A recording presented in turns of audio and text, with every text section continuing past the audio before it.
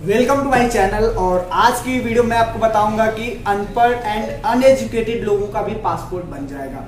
और बहुत सारे आपने कमेंट्स लोगों का सुना होगा और देखिए, जैसा कि मैंने यहाँ पर कई सारे कमेंट्स लिख के रखे हुए हैं तो यहाँ पर लोग मुझसे पूछते हैं how to get passport if you are uneducated कि अगर हम पढ़े लिखे नहीं हैं और अगर हम अनएजुकेटेड हैं तो क्या हमारा पासपोर्ट बन जाएगा?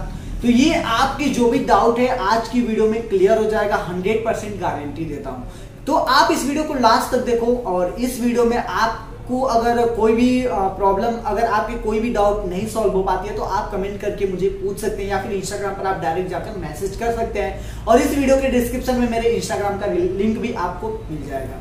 तो चलिए अब बात करते हैं कि भाई अनएजुकेटेड लोगों का पासपोर्ट बन पाएगा या नहीं। देखो ऐसा तो जनरली आपको पता होगा कि भाई अगर हम हाई स्कूल से ज़्यादा पढ़े लिखे हैं, अगर एजुकेटेड हैं तो हमारा पासपोर्ट तो बन जाएगा। नॉर्मल सी बात है, कहीं भी जाओगे तो लोग ये आपको बोलेंगे। लेकिन यही अगर आपको अगर आप पढ़े लिखे नहीं हो, अगर आप अनएजुकेटेड हो तो लोग बोलते भैया, तुम अपना पासपोर्ट नहीं बना पाओगे। तो ये भाई, ये तो बुरा लगता है ना। तो मैं बता रहा हूँ आपको, भाई, ज़रूरी नहीं अगर आप अनएजुकेटेड हो, तब भी आपका पासपोर्ट बन जाएगा। टेंशन लेने की कोई बात नहीं है। तो सबसे फ़र्स्ट पॉइंट ये है कि अब हम बात करते हैं, भाई पासपोर्ट के बारे में। तो पासपोर्ट दो कैटेगरी का बनता है। एक ईसीआर e कैटेगरी का और एक ईसीएनआर e कैटेगरी का।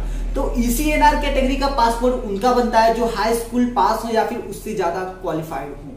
तो उनका ईसीएनआर कैटेगरी का पासपोर्ट बनता है। तो फ़िलहाल के लिए हम ईसीएनआर कैटेगरी को साइड में रखते हैं, क्योंकि हमें इससे कोई मतलब नहीं, क्योंकि हम, मैं टॉपिक जो लिया हूँ, वो है अनएजुकेटेड लोगों का पासपोर्ट कैसे बनेगा।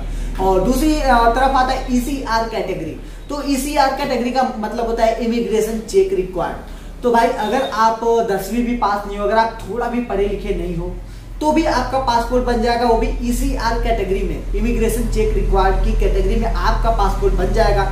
ज़रूरी नहीं है कि आप दसवीं पास हो या फिर पांचवी पास हो, आठवीं पास हो, कोई मायने नहीं रखता है। अगर आप नहीं पढ़े लिखे हो, एक भी क्लास साइन भी कर, बस आपको साइन करना आना चाहिए, बस इतना तो ज़रूरी है भाई। अगर साइन करना आता है तो आपका पासपोर्ट बन जाएगा।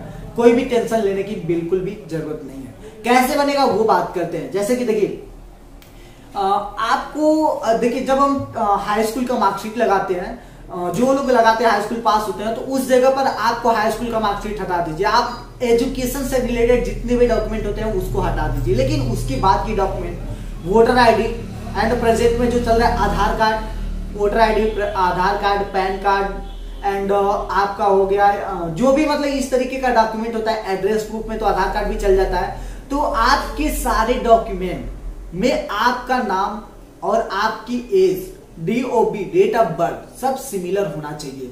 अगर सारी चीज़ें मैच खाती है तो आप अप्लाई कर दीजिए पासपोर्ट बनवाने के लिए। और आपका पासपोर्ट बन जाएगा, कोई दिक्कत नहीं है, बस सारे डॉक्यूमेंट आपके सब सही होने चाहिए।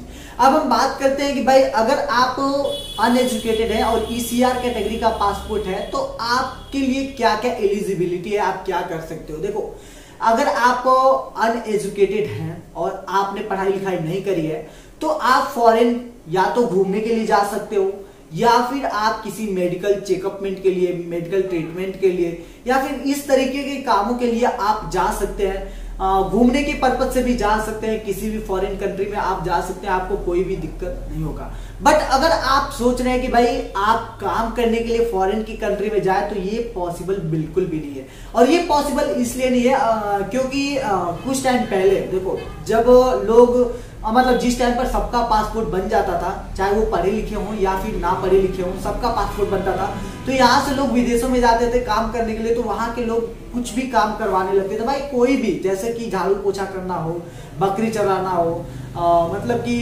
गाय भैंस का देख रेख करना हो बैल का देख रेख मतलब कुछ भी करना हो इस तरीके का कुछ बहुत ही नीचे वाला काम कराते थे लोग। और यहाँ से जो लोग जाते थे भाई काफ़ी अच्छी फैमिली से जाते थे जिन्होंने ये सब जो लोग ये सब काम किए ही नहीं होते हैं फैमिली में कभी भी। तो ये सब काम करके उनको बहुत ही खराब लगता है। तो मतलब यहाँ गए किसी और काम के लिए वहाँ करवाने लगे कोई और काम। ये उनके साथ ही होता था, जो लोग अनएजुकेटेड होते थे, जो लोग पढ़े लिखे नहीं होते थे। कभी कभी पढ़े लिखे जो होते थे, उनके साथ भी ये चीज़ हो जाती थी। तो अभी मतलब कुछ टाइम पहले, आज से चार या पाँच साल पहले की अगर हम बात करें तो उस टाइम पर हमारी गवर्नमेंट मतलब इंडिया की गवर्नमेंट ने वहाँ पर बात किया फॉरेन के लोगों से, वहाँ के पॉलिटिशियन या फिर वहाँ की जो सरकार है, वहाँ से। और ये बात किया कि आप ये बताइए कि हमारे यहाँ से जो लोग जाते हैं, आप उनसे नीचे का काम नहीं करवा सकते। हमारी गवर्नमेंट ने बोला। तो वहाँ की गवर्नमेंट ने ऐसा बोला कि हम ये कंडीशन तभी आपका मानेंगे जब कम से कम दसवीं पास या दसवीं से ऊपर हाई लेवल तक जिसने एजुकेशन अपना कंप्लीट किया, वो लोग अगर हमारे यहाँ काम करने आए। उसके बाद से भाई जो अनएजुकेटेड लोग हैं, इनकी लिस्ट हटा दी गई। इसके बाद से वो लोग नहीं काम करने जाते थे, फिर दसवीं पास वाले ही काम करने के लिए जाते थे। तो तब से उसके बाद से वो अच्छे लेवल पर काम भी करते थे। तो अभी अच्छे लेवल पर फिर उनको काम मिलना शुरू हो गया। मतलब कि जैसे पहले करवाते थे लोग उस टाइप का नहीं। इसलिए पासपोर्ट को दो कैटेगरी में बांट दिया गया। एक ईसीआर e कैटेगरी में, एक ईसीएनआर e कैटेगरी में। तो ईसीएनआर e कैटेगरी में उनका ही बनता है जो लोग हाई स्कूल का मार्कशीट लगाते हैं। इमिग्रेशन चेक नॉट रिक्वायर्ड और ईसीआर कैटेगरी में उनका बनता है जो लोग पढ़े लिखे नहीं होते अनएजुकेटेड होते हैं। तो अगर आपको कोई बोलता है भाई तू तो पढ़वे लिखा नहीं है तो तेरा पासपोर्ट तो बनबे नहीं करेगा। तो भाई आप ऐसा बिल्कुल भी ना सोचिएगा, क्योंकि आपका भी पासपोर्ट बन जाएगा, भले आप पढ़े लिखे नहीं है। कोई दिक्कत नहीं, आप किसी भी कंट्री में जाकर, किसी भी फॉरेन मतलब कोई भी कंट्री कोई भी कंट्री के कोई भी सिटी में आप जाकर घूम सकते हो। एज अ ट्रैवलर ट्रैवल कर सकते हो, या फिर मेडिकल चेकअपमेंट या ट्रीटमेंट के लिए आपको जाना है तो आप किसी भी कंट्री में जा सकते हो, आपको कोई टेंशन बिल्कुल भी नहीं लेना है। तो ये कमेंट आप लोगों का याद था जैसा मैंने यहाँ पर लिख के रखा हुआ है कि सर, आप ये बताओ कि अगर हम अनएजुकेटेड या फिर अनपढ़ है तो हमारा पासपोर्ट बन पाएगा या नहीं? तो आपके प्रॉब्लम का सोल्यूशन मिल गया होगा। उम्मीद है कि आपको ये वीडियो पूरा समझ में आ गई होगी कि मैंने क्या बताया और आपको सारी चीज़ें समझ में आ गई होगी। भाई मैंडेटरी नहीं है कि आप पढ़े लिखे हो, तभी आपका पासपोर्ट बनेगा। आपका पासपोर्ट बन जाएगा अगर आप अनएजुकेटेड हो तो। उम्मीद है कि वीडियो बहुत ही अच्छी लगी हो। तो अगर वीडियो अच्छी लगी हो और जिसको ज़रूरत हो उसको आप इस वीडियो को शेयर करो, अपने दोस्तों के साथ शेयर करो और जो लोग अनएजुकेटेड हैं, जो लोग ऐसा बोलते हैं भाई पासपोर्ट तेरा नहीं बन पाएगा तो पढ़ा लिखा नहीं है, उनके साथ भी शेयर करो ताकि उनको पता चल सके इसके बारे में कि भाई उनका भी पासपोर्ट बन सकता है ईसीआर कैटेगरी में।